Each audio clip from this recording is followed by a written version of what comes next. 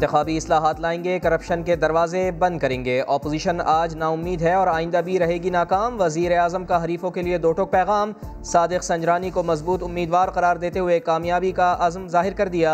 हुकूमती तर्जुमानों के अजलास में मारियाम नवाज़ के मुल्की इदारों पर इल्ज़ाम की शदीद मजम्मत। इलेक्शन कमीशन पर भी सवाल उठाए गए। वज़ीर अजम ने कहा, पैसा लगाकर इकतदार में आने और फिर आवाम को लूटने की रिवायत बन चुकी है।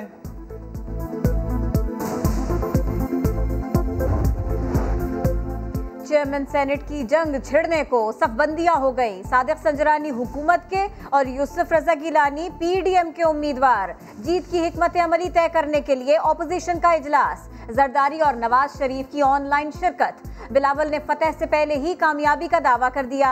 हलीफों को पीपल्स पार्टी की मुखलसी का यकीन दिला दिया। मियाँ साहिब बोले, मकसद इकतदार का हसूल नहीं इस्टेब्लिशमेंट के सियासी किरदार का खात्मा है। इजलास में वज़ीर अला पंजाब के खिलाफ तहरीक अदम एतमाद और लॉन्ग मार्च पर भी मुशावरत।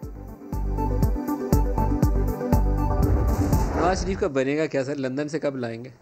कभी नहीं आएगा। और आसिफ जरदारी पाकिस्तान रहेंगे या बाहर जाएँगे? इधर ही रहेंगे। किसी और की कोशिश है कि वो बाहर चले जाएँ लेकिन इमरान खान ने कहा सवाल ही पैदा नहीं होता।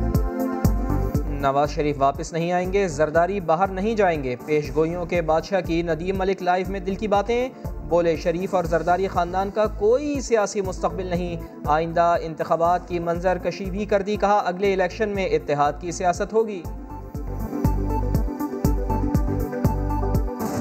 अपोजिशन इलेक्शन तैयारी में है ये एक पार्टी इलेक्शन नहीं लड़ेगा फजल रहमान और नून लीग शायद इकट्ठे हों। और इमरान खान भी किसी इस्लामी फोर्स से इनका इमरान खान बजा चुका है अब ये घंटियाँ बजाते रहे। ये कल घंटी बजाने गए थे जहाँ कोई शुजात ने इनको ठिंगा दिखाया है। चौधरी शुजात ने अपोजिशन को बता दिया वो मांगे तांगे की सियासत से नहीं पंजाब में अदम इस्तेकाम पैदा नहीं करना चाहते। फिर दौस आशिक आवान का सियासी हरीफों पर तंज कहा अपोजिशन ने सेनेट इंतखाब में टॉस जीता। इमरान खान ने एतमाद का वोट लेकर मैच जीता। एक एमएनए के बारे में बताए कि 178 से जो है ना वो कम था, या कोई एक एमएनए के बताया कि वो एबसेंट था। एक भी बताया ना कि फलाना का वोट पोल हुआ है, वो एबसेंट है। कोई एक नाम बताएँ जो 178 अरकान में शामिल नहीं था। स्पीकर कौमी असम्बली का बिलावल भुट्टो जरदारी को चैलेंज कहा। सादिक संजरानी ने तीन साल ऐवान को गैर जानबदार तरीके से चलाया। वो सैनेटर्स की पहली तरजीह होंगे।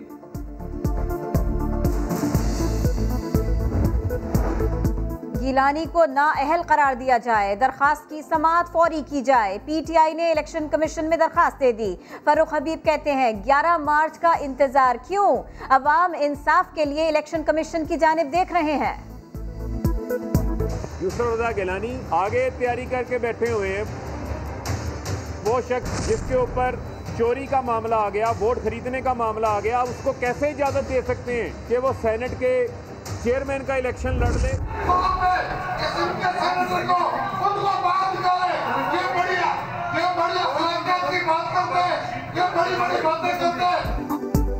पीटीआई के बागी की आमद, असलम अबड़ो की हुकूमती नशस्त संभालने पर सिंध असम्बली में हंगामा खड़ा हो गया। खुरम शेर जमान ने बात करने से रोके जाने पर एजेंडा फाड़ दिया।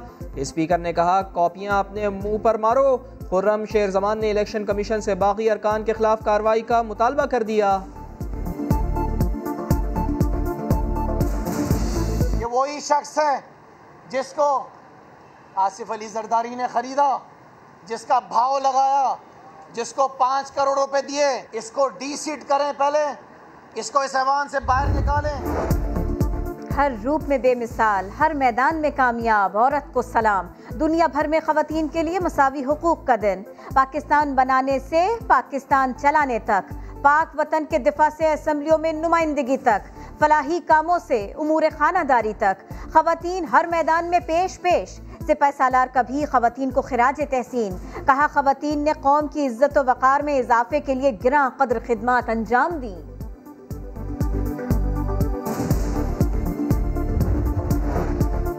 खवतीन का आलमी दिन नारों की गूंज में कराची, इस्लामाबाद, लाहौर, मुल्तान और कोयटा समेत मुख्तलिफ़ शहरों में मसावी हकूक़ के लिए औरत मार्च।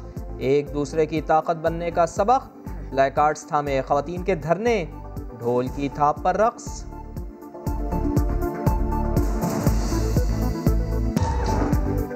कौमी क्रिकेटर्स के खवतीन के आलमी दिन पर पैगाम कप्तान बाबर आज़म, हसन अली, सरफराज अहमद, इवाद वसीम की मुबारकबाद। लिखा इर्द गिर्द की हैरत अंगेज और ताकतवर खातन की तारीफ़ करें। इनसे मोहब्बत और इनकी कदर करें। कौमी असम्बली की जानब से सराहने पर सनामीर का शुक्रिया।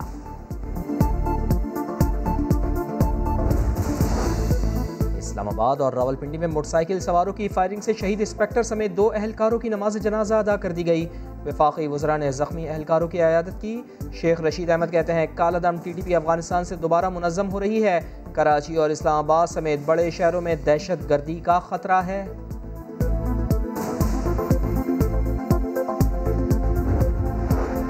टेस्ट देने आया, जान दे गया। पिशावर के इलाके फ़कीराबाद में पुलिस एहलकारों की कार पर फायरिंग।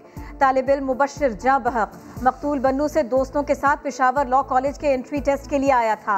वाक़ गुजशत रात दो बजे पेश आया। फायरिंग करने वाले दोनों अहलकार गिरफ़्तार। लाहौर के इलाके मुगलपुरा में मोटरसाइकिल सवारों की अंधाधुन फायरिंग पचपन साल रिक्शा ड्राइवर जान से गया। मकतूल फैयाज दो बच्चियों का बाप और घर का वाहिद कफील था। मुकदमा दर्ज। पुलिस को मुलजमान की तलाश। घर वालों को चाहिए सिर्फ़ इंसाफ। ये अपील करना चाहते हैं हम कि इन लोगों को इन जैसे दरिंदों को कड़ी से कड़ी सजा दे जाए और हमारा इसके मेरे पापा के अलावा कोई सहारा नहीं था। हमें कोई यहाँ से कोई सहारा नहीं मस्तूंग में सीटीडी की बड़ी कामयाबी मुकाबले में कलदम तंजीम के पाँच दहशत गर्दों को मार गिराया। अहलकार गिरफ़्तार मुलजिम की निशानदेही पर कार्रवाई के लिए गए। मुलजमान ने फायरिंग कर दी। सीटीटी के मुताबिक मुलजमान तकरीबकारी की मनसूबाबंदी कर रहे थे। दहशत गर्दों से 10 किलो बारूद, डेटोनेटर्स और तीन क्लाशन को मिली। सिंध में मुर्गी के गोश्त की रिकॉर्ड तोड़ कीमतें। पहली बार पाँच सौ रुपये फ़ी किलो से बढ़ गया। मुल्क के दीगर शहरों में भी कीमतों में इजाफे का सिलसिला जारी। कराची में कीमतें क्यों बढ़ी? फार्म मालिकान का कहना है कि पच्चीस रुपये में बिकने वाला चूज़ा बहत्तर रुपये का हो गया। फ़ीड की बोरी सत्ताईस सौ से साढ़े तीन हज़ार रुपये की हो गई। रिटेलर्स कहते हैं सप्लाई कम और डिमांड ज़्यादा है। खुदकुशी के बारे में सोचा, मदद मांगी, कोई सहारा न मिला। खानदान को यहाँ तक तहफात थे कि शादी के बाद उनके बच्चे की रंगत कितनी काली होगी। बरतानवी शाही खानदान की बहू मेगन मार्कल का तहलका खेज इंटरव्यू। कहा, शाही खानदान से मुतल तस्वरत और हकीकत दोनों में बहुत फ़र्क है।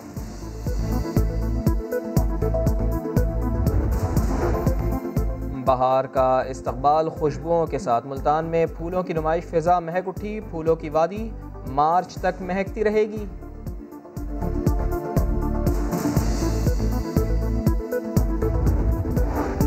पीएसएल क्यों मुलतवी हुआ? पीसीबी और फ्रेंचाइजेस का इजलास। लीग के बकिया मैचेस लाहौर में करवाने पर इतफाक मुख्तलिफ़ तजावीज़ पर गौर। चेयरमैन पीसीबी ने फ्रेंचाइज के तहफ़ात दूर करने की यकीन दहानी करा दी।